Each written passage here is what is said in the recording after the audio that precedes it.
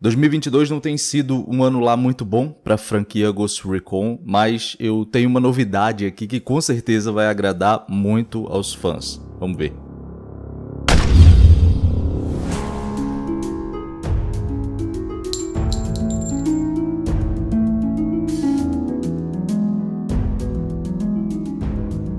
Ok, Blaze Guerreiros, eu sou o William Ruff. E hoje eu tô aqui com um cascado para falar sobre Ghost Recon e uma notícia recente que deixou a gente bem animado aqui, porque sinceramente eu não tava esperando por isso e eu acho que sim, esse é o melhor caminho possível para franquias como Ghost Recon, Splinter Cell e outras, beleza? Vou explicar aqui melhor a situação para vocês, tudo direitinho, mas antes, você que é novo por aqui, seja muito bem-vindo, se inscreve aí para não perder os próximos conteúdos, porque esse canal aqui é focado exatamente nesse tipo de jogo, ok? Se inscreve aí, ativa o sininho e vamos que vamos. Quem quer rir, tem que fazer rir. É, eu acho que uma das maiores reclamações em relação aos games da Ubisoft é esse padrão recente né, que eles começaram a adotar, que acabou ficando conhecido como a Fórmula Ubisoft, né, digamos assim. Acho que é esse o termo que, que meio que ficou estabelecido aí, que era basicamente um, um, jogo de mundo aberto, né? Só que aquele mundo aberto vazio, com um personagem em terceira pessoa, com uma história genérica, muitos elementos de RPG para poder forçar o, o, jogador a ficar farmando ali itens por dezenas de horas e tal, para poder upar o personagem. E, e, se por acaso você não tivesse tempo disponível para poder investir tantas horas ali no game, Bastava o cara ir lá na lojinha e tal e convenientemente, né, digamos assim, o cara comprar o que ele não consegue é, farmar no jogo com dinheiro real, né? Que é a grande sacanagem, a gente sabe, né? Os caras eles dificultam o acesso aos itens dentro do jogo e aí vendem a facilidade, né? Eles criam a dificuldade e vendem a facilidade. Né?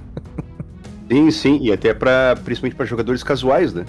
Sim, sim. É, o cara, o cara trabalha o dia inteiro e, porra, o cara não tem ali 200, 300 horas para poder passar no, num jogo para poder desbloquear uma skin. Então, assim, durante muitos anos, essa foi a fórmula Ubisoft de fazer jogos. E aí as franquias elas foram ficando é, todas muito parecidas, né? A gente pode citar aí Watch Dogs, é, os Assassin's Creed, os mais recentes, Far Cry, The Division e claro, Ghost Recon, que é o que a gente foca mais aqui no canal. Todas essas franquias nos últimos anos elas foram se padronizando mesmo, né? Usando as mesmas ideias ali entre elas, reaproveitando mecânicas inclusive, né? E por aí vai. Mas isso vai mudar, né? Como a gente viu nesse artigo aí. Aliás, já está mudando. Já teve inclusive uma entrevista do, do Yves Gilmour, que foi logo depois do Breakpoint, você deve lembrar, né? Ele dizendo que, que as coisas iam, iam mudar, que eles iam focar mais nos jogos, dar mais personalidade aos jogos e tudo mais. Enfim, agora, enfim, a gente teve aí uma outra notícia, né, durante uma, uma entrevista, essas entrevistas coletivas aí, que reforçou esse ponto e parece que agora ficou uma coisa mais palpável, realmente, porque naquela época lá, parece que a, a declaração do Guilherme foi uma coisa meio que para calar a boca do pessoal. O pessoal tava reclamando muito do Breakpoint. Posso eu dizer isso aqui para ver se o pessoal fica quieto. E agora não, agora essa declaração parece parece mais construída, né? Mais bem desenvolvida, parece fazer parte de um, de um planejamento, de uma coisa maior. E aí, o que é que você achou aí? Eu acho isso bastante positivo, porque é aquilo. Ter colocado um mesmo formato para vários tipos de jogos, várias franquias diferentes, fez com que nem os fãs pudessem identificar, tá, mas qual é a identidade desse jogo?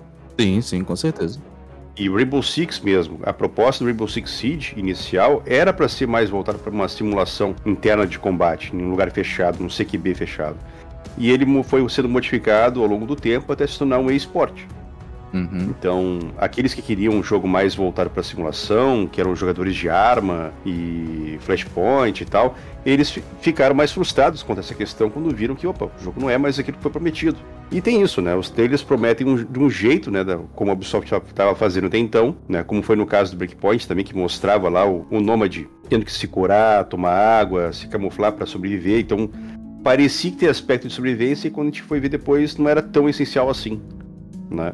Uhum. E, e, e aí voltar para as raízes, fazer com que o jogo tenha mais assim a sua característica própria e focar naquilo que, que a comunidade está pedindo, que é isso eu acho o mais importante. Né? A comunidade ser respeitada, é, é, a opinião do jogador como consumidor sendo respeitado. Sim, sim. Porque, na verdade, é, são, são os fãs que pagam realmente o jogo, né? Eles são eles que estão realmente dando vida pro jogo.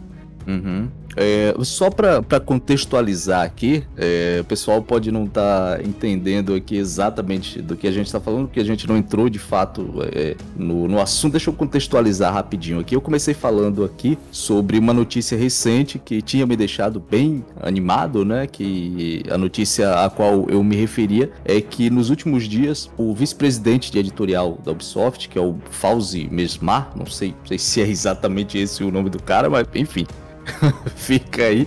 Quem entender melhor aí desses nomes bem esquisitos aí, comenta embaixo, diz aí se tá certo ou não a pronúncia. É, mas enfim, esse cara, ele durante uma dessas coletivas de imprensa aí, ele acabou falando que a Ubisoft ela não quer mais é, assim jogos que façam tudo, né? É, que os jogos eles deveriam ser mais focados. Isso foi um posicionamento oficial, né? E eu até separei um trecho aqui que ele fala sobre isso. Eu vou deixar o link é, do artigo aqui na descrição também, se vocês quiserem ver todo, né? No caso, dá uma lida lá, é sempre importante. Mas nesse trecho aqui que eu separei, ele estava comentando o seguinte aqui: queremos que seja tudo bem né, tomar uma decisão em torno de um jogo e dizer vamos fazer isso e vamos nos comprometer e vamos ficar felizes que possa fazer esse tipo de pessoa feliz mas talvez nem todo mundo. E tudo bem, acreditamos que um jogo mais focado é melhor para as pessoas que gostam desse tipo de jogo. Isso aqui, para mim, é, é música para os meus ouvidos e para os ouvidos de, de, todos os fãs, principalmente da franquia Ghost Recon, porque a gente passou tanto tempo aqui, quem acompanha esse canal aqui há mais tempo, né? Não só aqui, mas o canal do Cascado também. O Cascado também fala muito, é, muito sobre isso, é uma opinião que a gente compartilha aqui, que é essa questão do, da franquia ela ter se distanciado, né? Dela ter se distanciado do que é, do que ela sempre foi, perdido o foco, o, o que os fãs querem, né? O pessoal que joga lá desde o início, são jogadores mais antigos da franquia, que viu uh, a franquia subir e chegar até o topo em Advanced Warfare 2 e depois foi caindo, caindo caindo, caindo, caindo. E aí teve um novo suspiro com Ghost Recon Wildlands, depois caiu novamente com Ghost Recon Breakpoint, que tentou ali, na cara de pau, agregar a comunidade de Ghost Recon e a comunidade de The Division. E eles acharam que realmente era possível juntar essas duas, essas duas comunidades no único jogo e farmar dinheiro infinito. E caíram do cavalo. É, e uma coisa que eu fiquei curioso, né, que o Fauzi Mesmari está há 10 meses apenas na Ubisoft. E se ele já trouxe essa novidade, é porque alguma coisa realmente foi necessária modificar. Né? Então, tu vê, chegou a ter Ghost Recon Frontline, que era para ser um Battle Royale que ninguém estava querendo da comunidade. Uhum. Ele, e tanto a Ubisoft percebeu isso que cancelou o jogo. E aí é aquela coisa, né? Agora com essa nova postura dado pelo né, o vice-presidente editorial, né, basicamente a gente tem a ideia de que eles vão voltar a focar no nicho que é Ghost Recon. Cada jogo, cada franquia vai ter o seu próprio nicho, não vai ser aquela coisa mesclada. E aí, aquela coisa, se alguém gostar da proposta de cada tipo de jogo, a pessoa compra. Se ela não gostar, ela fica no seu nicho. Sim, sim, claro. Eu, eu, é como eu disse, né? Eu acho uma excelente notícia, coisa pra gente realmente ficar de olho, é, porque mostra que os caras eles estão mesmo no, no caminho certo. Né? E eu, eu concordo totalmente, tem que focar mesmo. O negócio de ficar é, pegando mecânica. Assassin's Creed pega mecânica de Far Cry, Far Cry pega mecânica de Ghost Recon, Ghost Recon pega mecânica de, sei lá, de Watch Dogs. Mas eu acho que o que a gente precisa pontuar aqui, isso eu acho uma coisa bem interessante, bem importante, é que essa mudança de postura mostra o poder da comunidade. Né? A comunidade foi lá, reclamou, né, mostrou a indignação, todas as reclamações que, que a gente fez, parece que de fato acabaram surtindo efeito aí até porque eles sentiram no bolso, né? Então não é só uma questão de dizer, ah, porque os caras eles ouvem a comunidade. Não, eles sentiram no bolso e isso fez uma grande diferença aí, tanto que fizeram os caras recalcular a rota deles. E, inclusive é importante lembrar que esse movimento de boicote, entre aspas aí, é, em relação ao Ubisoft, ela começou exatamente a partir do péssimo lançamento que foi de Ghost Recon Breakpoint. Então, uma comunidade Ghost Recon teve sim um grande impacto nessa mudança de postura da empresa, porque isso já vinha acontecendo com outros jogos, mas ainda não tinha acontecido, digamos que um boicote organizado, uma, a galera toda realmente se reunindo para falar: não, a gente não vai comprar esse negócio, a gente não quer isso não tá do jeito que, que era para tá isso aqui, né? E o jogo ele flopou, realmente ele flopou, tanto é que a própria Ubisoft admitiu que o jogo não não tava vendendo e mudaram totalmente o rumo, modificaram totalmente o jogo, o jogo do, do início da forma como ele foi lançado até o que ele tá hoje, ele foi totalmente modificado. Sim, sim, inclusive a comunidade estava dizendo que não ia jogar o Ghost Recon Frontline justamente para demonstrar o desgosto e não tá vendo um Wildlands 2, que era o que todo mundo tava querendo, né? Uhum. Então, realmente, a comunidade de Ghost Recon tem um papel essencial porque eu não vi a comunidade das outras franquias tão engajadas com uma crítica à, à, forma da construção do jogo, né? Porque a história do Breakpoint, ela tem, ela é basicamente segmentada, tem vários furos, ou seja, aquela forma da Ubisoft anteriormente de contar bem histórias como tem nos primeiros Assassin's Creed, por exemplo, né? E também Splinter Cell, é uma coisa que foi se perdendo, daí quando tu chega, tu vê Ghost Recon Future Soldier, poxa, a história é muito boa. Uhum. O Feature Soldier te, te, prende, tu joga aquilo ali, parece que tu tá dentro do, do jogo mesmo, tu te sente imerso no jogo. É, o problema do Breakpoint realmente é a história, a história ficou horrível. É, mas o, o resto, toda, toda a parte técnica, digamos assim, é, ele, ele é um jogo bem interessante. É, e jogos indie também, eles focam na história. Porque às vezes não tem tanta qualidade de produção, mas a história ela é bem contada. E aí faz sucesso, prende, ganha um público, né? É, é assim que funciona o negócio. Então é isso. É, hoje eu tava aqui com o Cascado. Cascado aí se despeça das pessoas. Cascado vai aparecer mais vezes aqui nos vídeos também.